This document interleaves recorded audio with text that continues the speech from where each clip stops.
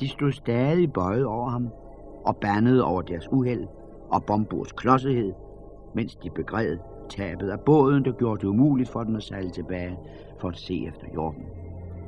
Bombur sov videre med et smil på sit tykke ansigt, som om han ikke længere brød sig om alle de bekymringer, der plagede de andre. Pludselig dukkede nogle hvide hjorte op på stien foran dem. En hen og nogle kid, der var lige så snehvide, som bukken havde været mørk. De skinnede på stien. Før Torin kunne råbe advarende, var tre af dværgene sprunget op og havde løsnet en pil fra deres bue. Der var åbenbart ingen af dem, der ramte. Hjortene vendte sig og forsvandt lige så stille, som de var dukket op. Og dværgene havde forgæves skudt deres pile efter dem. Stans! Stans! råbte Thorin efter dem, men det var for sent. De ophidsede dværge havde spildt deres sidste pile, og nu var de buer, som Bjørn havde givet dem til ingen nytte.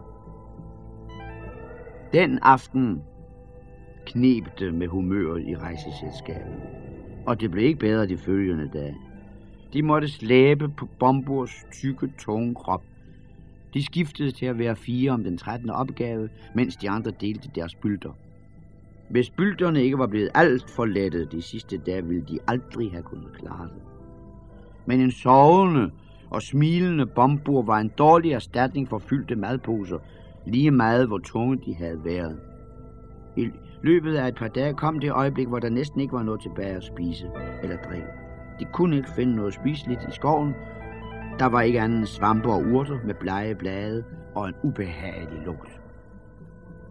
Omtrent fire dagsrejser fra den forheksede flod nåede de til et sted, hvor de fleste træer var bøgetræer.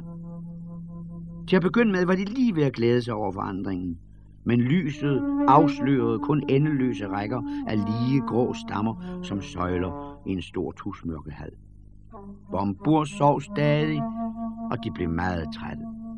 Sommetider hørte de en foruroligende latter, og samtidig var der også nogen, der sang i det fjerne. To dage senere opdagede de, at stien begyndte at gå nedad, og inden længe nåede de til en dal, hvor der næsten ikke voksede andet end mægtige egetræer. Er der da ingen ende på denne forbandede skov, spurgte Toren.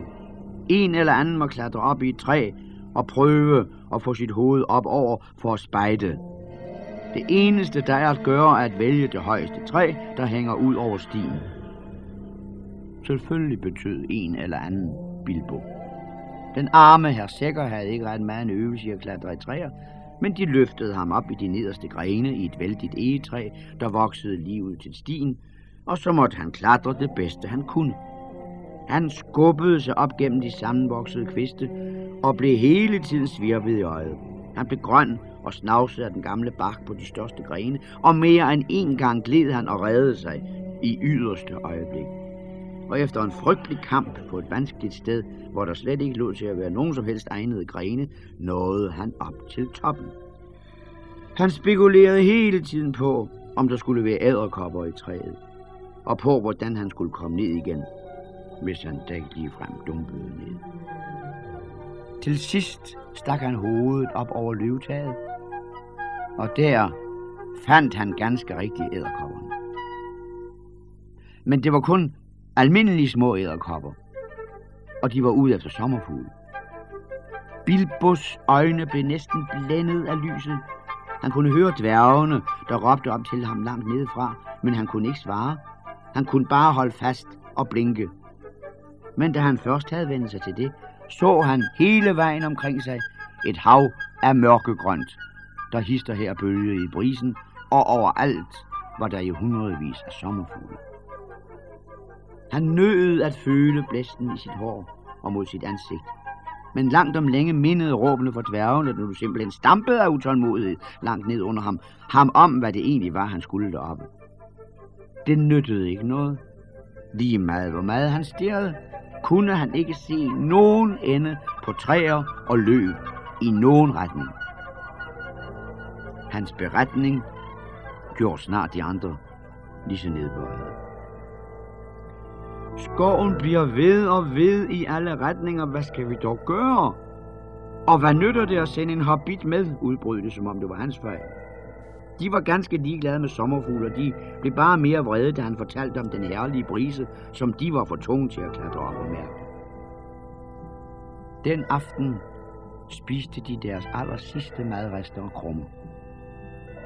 Og da de vågnede næste morgen, var det første, de lagde mærke til, at de stadig var hundesultne, og det næste, at det regnede, og at der hister her dryppede en tung dråbe ned på skovbunden.